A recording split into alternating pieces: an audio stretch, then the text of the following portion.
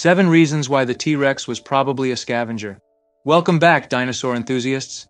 Today we're diving into a controversial topic that has been the subject of intense debate among paleontologists and dinosaur enthusiasts alike. Was the mighty Tyrannosaurus rex a fearsome predator or an opportunistic scavenger, hiding behind bushes until the dust settled? Well, grab your fossil digging gear and let's explore this fascinating question together. Reason 1. Its massive skull and bone-crushing teeth.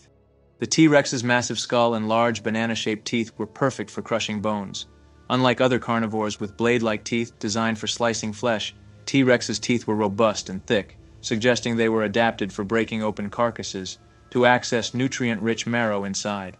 This bone-crushing ability is a classic scavenger trait, hinting at the T-Rex's potential scavenging lifestyle. This is our first clue that the T-Rex might not have been the active predator we often imagine it to be. Reason 2 its energy efficiency. Hunting requires a massive amount of energy, and success isn't always guaranteed. As one of the largest land predators to ever exist, the T-Rex would have needed a lot of energy. Scavenging, a less energy-consuming activity, would have provided a more reliable food source. Reason 3. Its small and weak forelimbs. Despite their reputation, T-Rex's relatively small and seemingly weak forelimbs wouldn't have been effective at grasping struggling prey, a critical skill for a predator. But as a scavenger, no strong arms needed to feast on an already dead dinosaur. Reason 4. Its size and weight.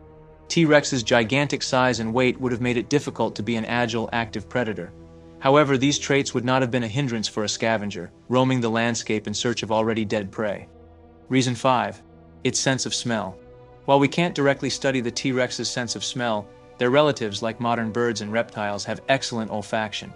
This would have been a critical advantage for a scavenger, allowing T-Rex to sniff out carrion from great distances. Reason 6. Its limited speed.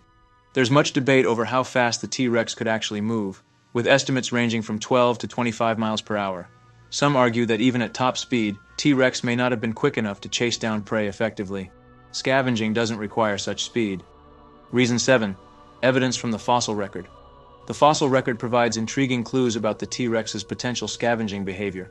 Paleontologists have discovered T-Rex tooth marks on the bones of various dinosaurs, including those that were likely too large or tough for the T-Rex to kill, such as the well-armored Triceratops or the massive long-necked sauropods. In some cases, these tooth marks are on parts of the body that predators typically don't eat until the rest of the carcass has been consumed, like bone ends and fibulae.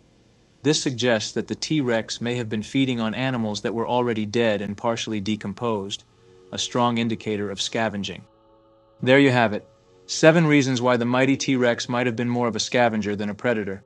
And remember, the world of paleontology is full of ongoing research and debates. Perhaps T-Rex, like many modern animals, practiced both scavenging and predation depending on the opportunity.